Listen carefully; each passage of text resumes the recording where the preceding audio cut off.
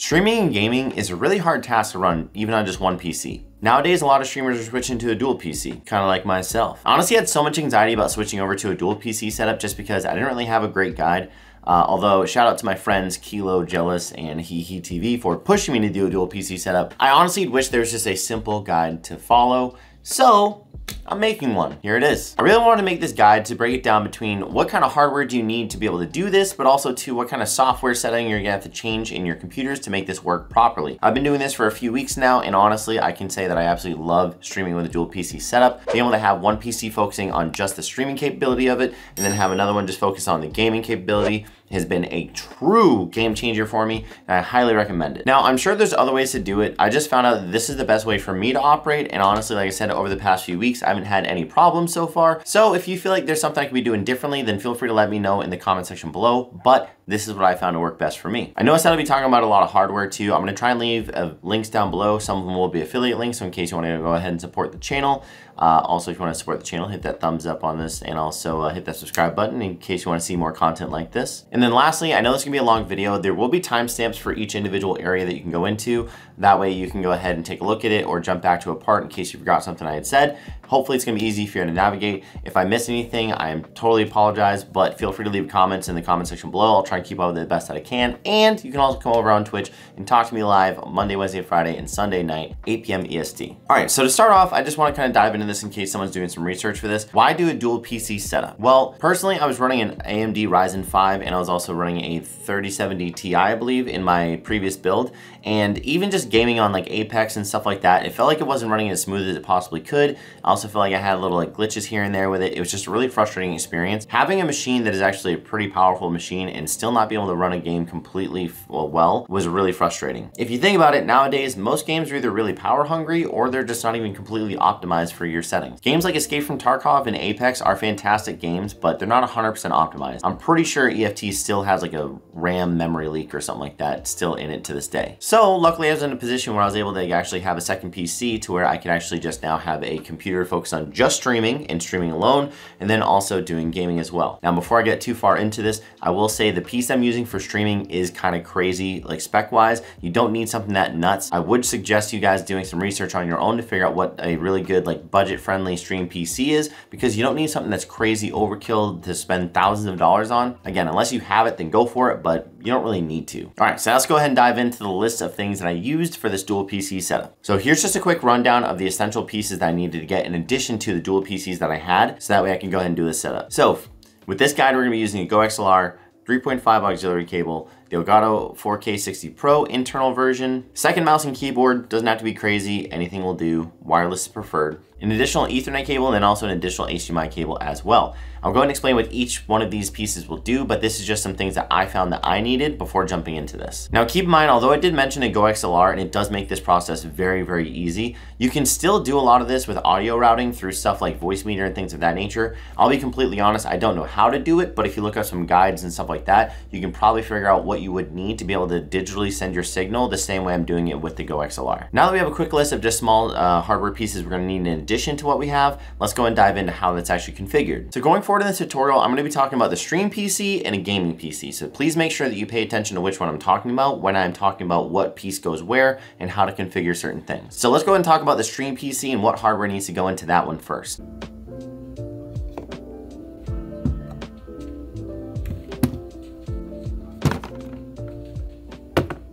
So for your stream PC, for the hardware you're gonna wanna connect to it, you're gonna wanna make sure that anything video related is gonna be connected to it as far as like video cameras or cam links or even like USB webcams, stuff like that. In addition to that, you're also gonna make sure that you wanna have your stream deck that controls your scene. So if you're doing scene switching or filters or things of that nature, make sure you have that connected as well. Basic mouse and keyboard, again, when I literally tell you, you're just gonna be able to turn on your computer, type in your password, and then put them aside, that's literally what you're gonna do. So don't make it crazy expensive. 4K 60 Pro, like I said, I got the internal version. You can use USB, but I prefer to go internal with this one. And then lastly is gonna be the 3.5 auxiliary cord. That's gonna be going into the line in. I'm gonna explain that a little bit more in detail later on, but you will need the auxiliary cord in the line in on your stream PC. Now you want all of those plugged into your stream PC because that is gonna be where your main version of OBS lives and where it works. So everything with all your uh, visuals and things of that are gonna be on your stream PC Everything else, your audio and things of that nature will be on your gaming PC. Again, I'll explain a little bit more deep, but anything visual related, gonna be on the stream PC more than likely. All right, so secondarily, what do you wanna have plugged into your gaming PC?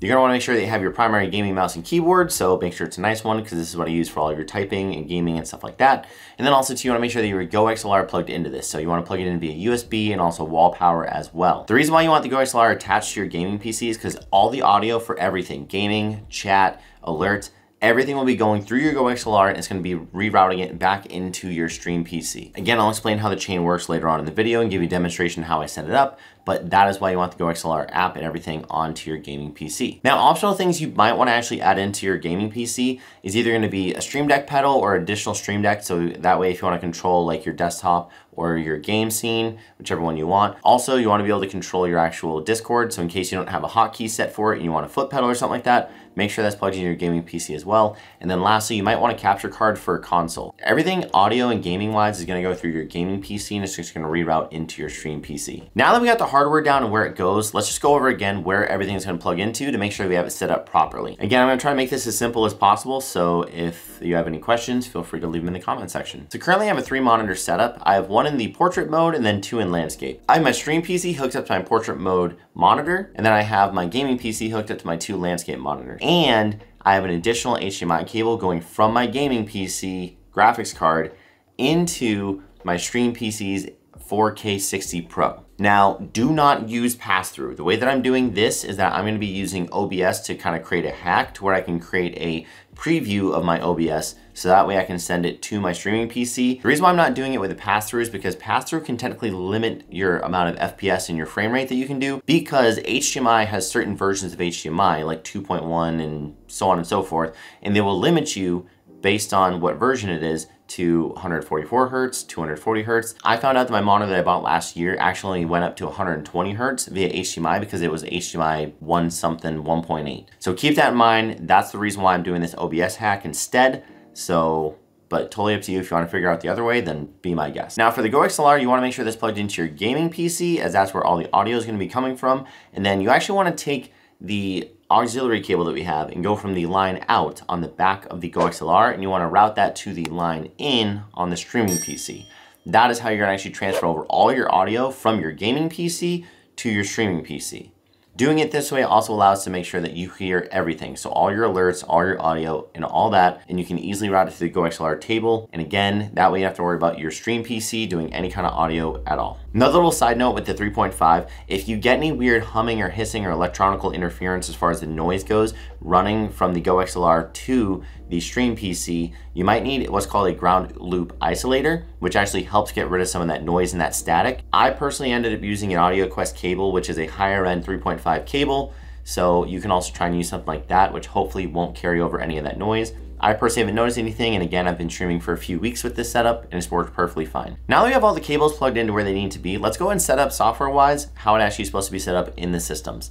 I'm gonna go ahead and show you how to set up the two versions of OBS to make sure they work with each other properly and how everything should be routed as far as audio goes. So let's head over to the two PC setup and check it out. All right, what's going on everyone? So currently right now we are looking at the Stream PC setup. So the OBS you see on display right now is actually gonna be the Stream PC also, I cannot see what I'm doing because I have the display disabled so I don't have that like infinity effect or whatever so I don't like bug you guys too much. But anyways, let's go over this really quick. So this OBS is going to be the OBS that you actually use and treat like your regular OBS. So I do have my entire like Twitch login on this and stuff like that. I do have all my alerts, all my nested scenes, um, my raw scenes and stuff like that. So it's all in there. Again, keep in mind though, the only audio thing that you can see right now is the mic aux. So I'm going to go over that in just a minute. Another easy way to look at this is that treat this as if you were, this is the OBS you'd be running on a single PC setup. So you would treat this OBS that same way, again, just with a couple of audio tricks because you're not going to be capturing any of the audio coming out right now. The mic aux you see right there that is currently being moved is actually going to be the Go XLR line out coming into this PC. So first, going over the settings, again, I just want to quickly go over this. I don't want to go too in depth with it, but settings, you would just have this logged into your Twitch account like you normally would. Um, so just log in there like you would or attach your stream key for whatever software you use. I'm going to go over my output resolution and my video resolution. Now, keep in mind, I will give you a note. My stream PC is way overkill. I think I have like a 3070 in this thing plus a Ryzen 5. So it's absolutely overkill for what it needs to do. So that's why I'm using NVENC new. If you're looking to build a PC for this, you do not have to get the kind of specs like that. Again, I would just recommend going out and doing some research on what a good streaming PC looks like that isn't going to break the bank because you do not need to spend thousands of dollars on your stream PC. I mean, unless you want to, or if you get the parts for it, then by all means, just full send it. But you don't have to spend thousands of dollars to get this set up. So my output setting is going to be this right here. So this is basically the max quality I can set it to right now, and I am using NVENC new. And then this is going to be the video setting that I'm currently using as well, which again, this is pretty much the highest quality I could find. I might fine tune this and do a full video on this later on, but these are my settings. Copy it if you have a full-fledged PC. If not, you have to look up basically a CPU encoding setup. All right, now that we have those settings just out of the way really quick, uh, again, let's look at this audio bar down here. This is going to be the mic aux. Now, if you real, if you look at it, go to the properties. This is set up as line in definition. So again, this is going to be the line in that you ran from the Go XLR out. This is going to be fed from the Go XLR. This is coming from the line out on the Go XLR into the line in on your stream PC. So this captures everything, your OBS alerts, your StreamBot alerts.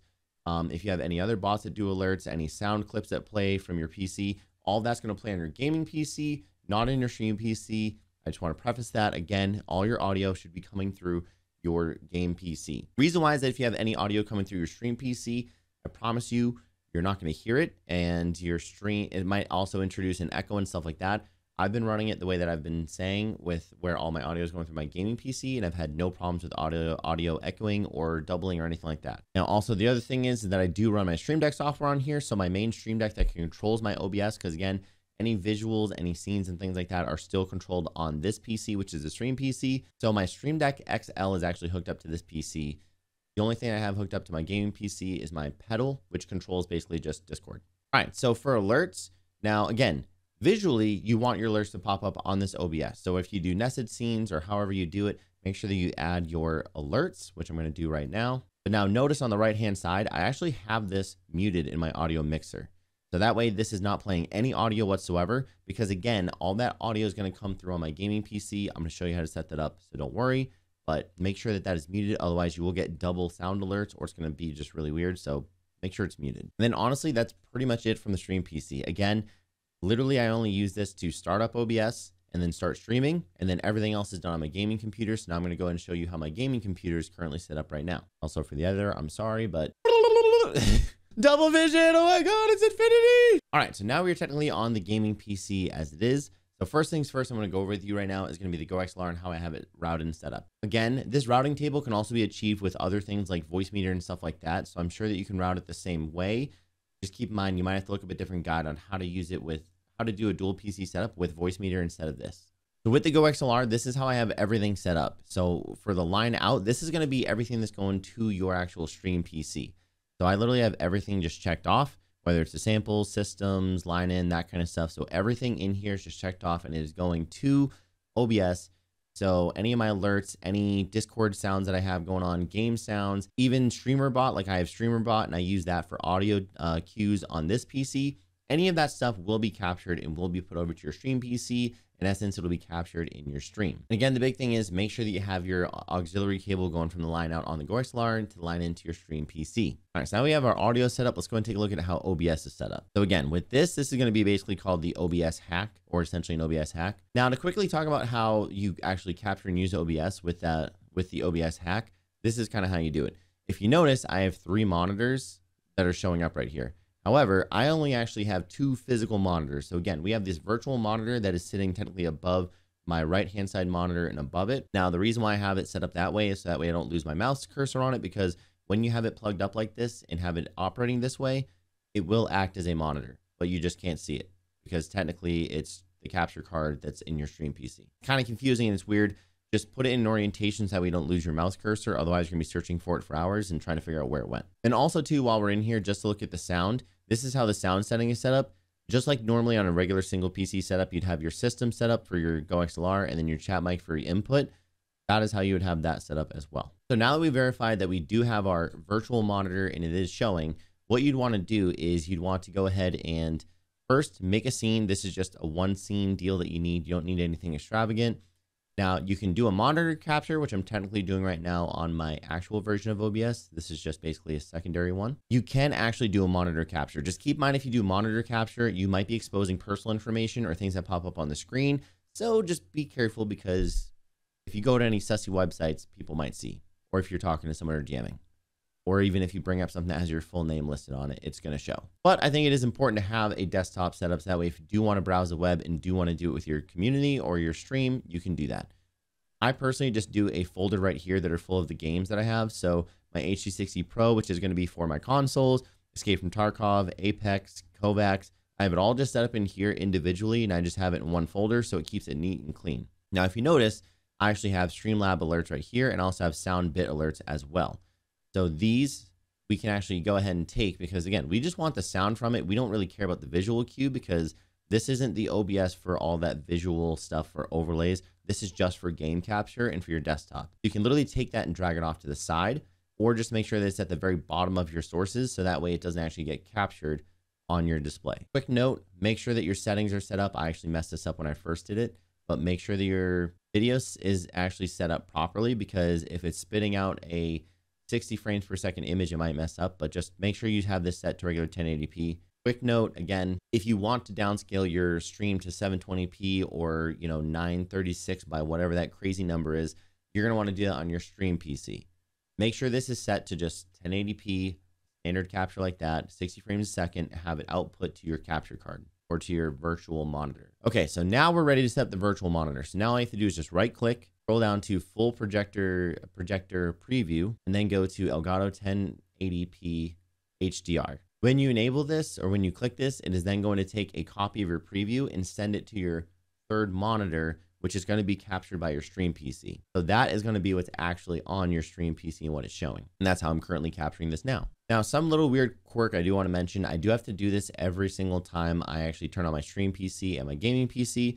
I basically have to do a full screen projection, so just don't forget to do that. All right, so something to note when you want to do a desktop capture, also too, another weird thing is that this will oftentimes change to a different monitor. So just make sure you clicked on the correct monitor because again, you might expose some saucy DMs you don't want to. And you might get banned on Twitch or reveal who your secret lover is or what your next brand deal is. And you don't want to do that. So just make sure you double check that to make sure you're not capturing the wrong thing. So now we have our stream PC capturing anything that's brought over from our gaming PC. Our gaming PC is sending all audio signal to the actual stream PC. So whether it's Discord or anything like that, everything is being sent through there. And again, you want to make sure that you have your alerts sound-wise set up on your gaming PC. So that way you hear those audio cues and your stream hears those audio cues. And that's why you want to have it set up that way. I personally had to actually set up a secondary streamer bot because this streamer bot that I have on this computer actually does all my audio cues as for anything that has to do with like changing filters or changing like uh, scenes and stuff like that, that streamer bot is actually set up on my stream PC because it handles that side of it. Really confusing. If you don't know what streamer bot is, I suggest you looking into it. It's a really powerful tool. Um, but it's probably an additional piece to confuse you with, so just ignore it if you don't know what it is. All right, so that's pretty much all set up. So if you've followed this guide properly, you should have everything set up to where it's properly displaying to your actual stream PC. All your audio should be good. One thing to note too, if you do have some weird audio sounds or if the sound coming from your gaming PC is a little weird, you might need something called a ground loop isolator that actually helps get rid of some of that static noise, electro uh, electronic noise introduced from sending it from one device to another. So you might need that if there is an issue. I'm personally using an AudioQuest cable, which is a high quality cable with uh, different materials and stuff that's made out of to carry a high quality signal.